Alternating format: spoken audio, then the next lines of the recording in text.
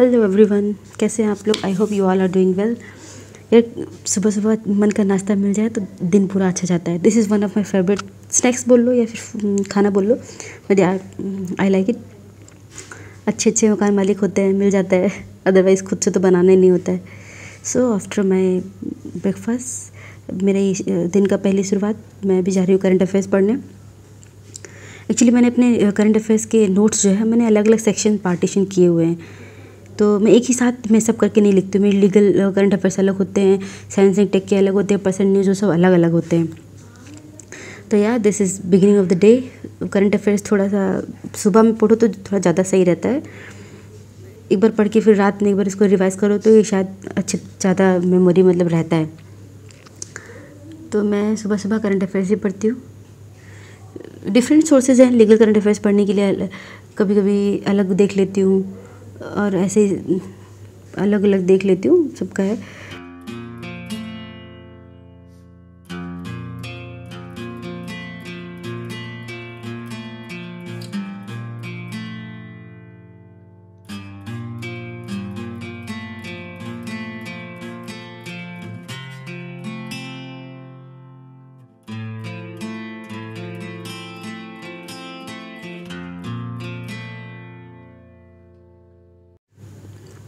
Now I am done current affairs अब मैं start करने जा रही हूँ आईपीसी एक्चुअली हम लोग के जो क्लासेस होते हैं इवनिंग को वह अभी आईपीसी चल रहा है।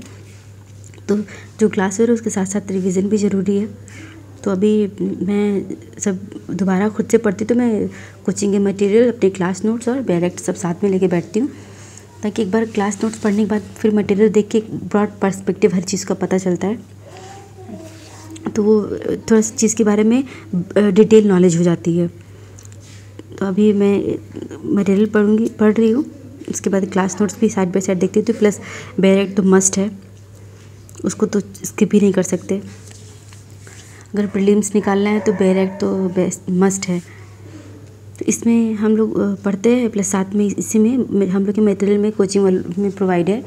कि इसमें प्रीवियस ईयर के क्वेश्चंस भी होते हैं सब्जेक्टिव प्लस ऑब्जेक्टिव तो हम लोग पढ़ने के बाद वो भी देख लेते हैं साइड बाय साइड तो एक प्रैक्टिस भी हो जाती है और पढ़ाई मतलब एक डिटेल पढ़ाई भी हो जाती है कि प्री के लिए भी कैसे पढ़ना है और प्लस मेंस के क्वेश्चंस भी समझ में आ जाते हैं जो प्रीवियस ईयर के होते हैं।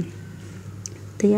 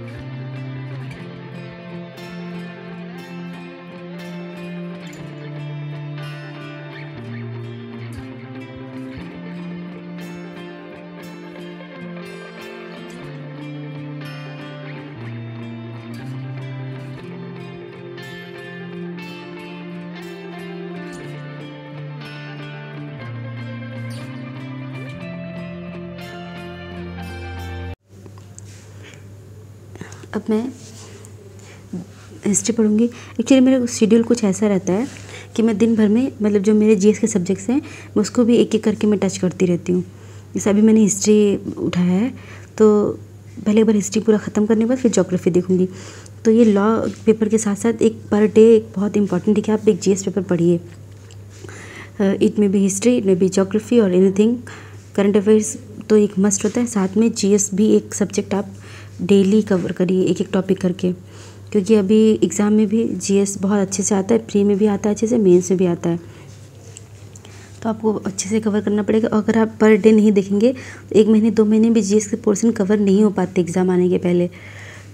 तो इस my suggestion to every judiciary aspirant कि आप लॉ सब्जेक्ट के साथ साथ पर डे एक जीएस के सब्जेक्ट आप पढ़िए।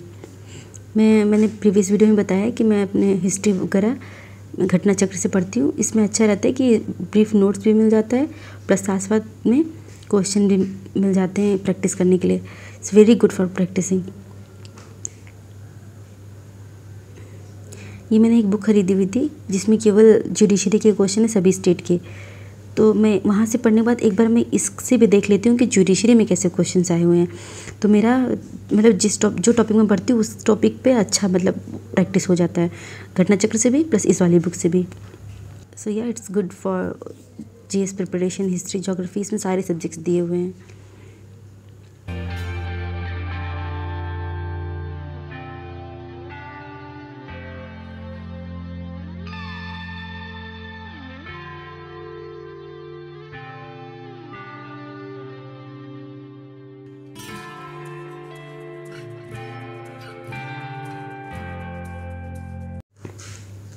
Yes, after lunch and a short break, yeah short nap, i'm going to start another subject of law जैसे एविडेंस एक्चुअली मुझे थोड़ा सा आफ्टरनून में रेस्ट करना मतलब कंपलसरी हो जाता है।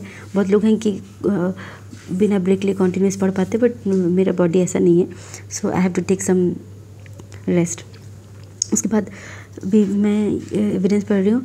ये हमारे सब्जेक्ट्स जो है ऑलरेडी कोचिंग में कवर हो चुके हैं, पूरा एविडेंस ख़त्म हो चुका है। तो मैं क्या करती हूँ कि जो मेरे करंट के सब्जेक्ट्स चल रहे हैं, उसके साथ साथ में जो मेरे पेपर जो सब्जेक्ट ख़त्म हो चुका है, उसका भी मैं पर डे एक एक टॉपिक रिवाइज करती हूँ, ताकि एकदम से भूले ना कोई भी चीज़। क्योंकि बहुत सारे सब्जेक्ट हैं हमारे पास तो उसका प्रॉपर रिवीजन बहुत ज़रूरी है। तो मैं एक एक सब्जेक्ट जो हमारे पिछले ऑलरेडी कंप्लीट हो चुके हैं, एक एक टॉपिक लेके मैं उसको रिवाइज करती रहती हूँ। ऑलरेडी पढ़ लिए कोचिंग में पढ़ा गया है और फिर एक बार खुद से कोचिंग के टाइम में भी पढ़ रहे थे। तो रिविज़न थोड़ा जल्दी हो जाता है but revision is the only weapon we have इतने सारे सब्जेक्ट्स हैं, इतने सेक्शंस हैं। तो रिवीजन तो बहुत कंपलसरी है। एग्ज़ाम टाइम तो होते होते make sure that you have done two two three revisions मैं हर एक चैप्टर पढ़ने के बाद मेरे चैप नोट्स के पीछे एक पेज खाली होते हैं, जिससे मैं साइनॉप्सिस बनाती हूँ। तो ताकि एग्ज़ाम टाइम बहुत इजी हो जाता है इसको रिवाइज करना। जितने भी मैं टॉपिक्स पढ़े रहती हूँ, हर एक टॉपिक एक पॉइंटर होता है, इसको आप साइनॉप्सिस बोलिए, फिर पॉइंटर तो मैं अपने नोट्स के पीछे लिख लेती हूँ। एक अच्छी हैबिट भी है I think everyone should do this synopsis बनाना बहुत अच्छी चीज़ है। उसके बाद ये क्वेश्चंस होते हैं तो हम लोग क्वेश्चन सॉल्व करते हैं, और जो ऑलरेडी क्वेश्चन सॉल्व कर लिया हुआ है, उसको रिवाइज करते रहते हैं। क्योंकि ये सारे प्रीवियस ईयर क्वेश्चन ही हैं जो हमारे मटेरियल में हैं। सब्जेक्टिव ऑब्जेक्टिव दोनों इसमें हुए।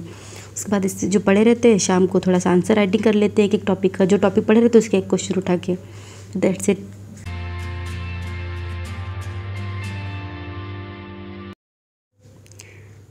भी मेरी ऑनलाइन क्लास की टाइमिंग है। कभी दो घंटे कभी तीन घंटे ऐसे वेरी करता है। तो मेरा ऑनलाइन क्लास चलता है उसके बाद फिर एट द एंड हम लोग को कभी स्टार्टिंग में मिल जाता है कभी एंडिंग में मिल जाता है। तो हमें टेस्ट भी सॉल्व करने होते हैं। सो so, आज लास्ट मिला हुआ है तो क्लास होने के बाद मैं लास्ट में सॉल्व करूँगी।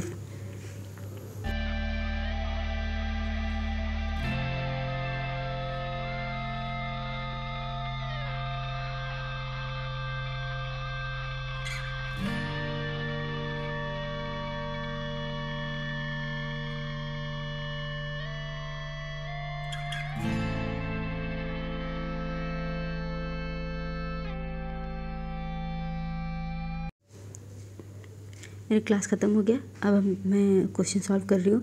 हम लोग को डेली फिफ्टीन फिफ्टीन मिनट्स के टेस्ट देते हैं, मिलते हैं, जो हम लोग के पिछले कुछ दिनों में जो टॉपिक कवर हुए रहते हैं maybe two three chapter को क्लब करके फिफ्टीन मिनट्स के हम लोग के twenty five twenty five question per day मिलते हैं। It's very good for practising ये हम लोग ये कंपलसरी है, करना चाहिए सबको, या फिर आप टेस्ट ज्वाइन किए कोचिंग ज्वाइन किए but per day question solving is very necessary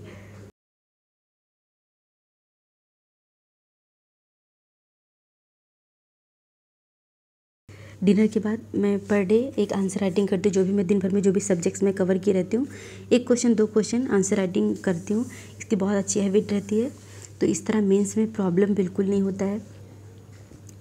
तो I would suggest everyone every student per day आप एक आंसर राइटिंग कीजिए। कभी कभी ऐसा होता है कि आप गलत लिखते हैं हम लोग बट हम लोग क्या है कि आंसर लिख के इंस्टीट्यूट पे भेज देते हैं। उधर से चेक करके आ जाता है तो थोड़ा सा फीडबैक मिल जाता है कि हाँ क्या गलत है, क्या सही है। हम लोग तो करते हैं डेली और I would suggest everyone to do it आपको पहली बार लगेगा, गलत है, नहीं हो रहा बट दो बार, तीन बार प्रैक्टिस करने के बाद वो फिर सही से एक फॉर्मेट समझ में आ जाता है, फिर वो लिखते में आ जाता है। This is the very must do practice of judiciary or any student so yeah, this is the end of my whole day.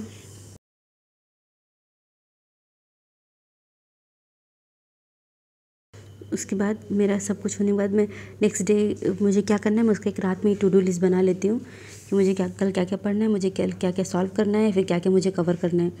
तो एक दिन भर का एक टारगेट फिक्स रहता है। So yeah this is the end of my day my whole day routine so I hope you like my video so do like share comment subscribe to my channel इससे D well work hard I will see you in the next video bye bye good night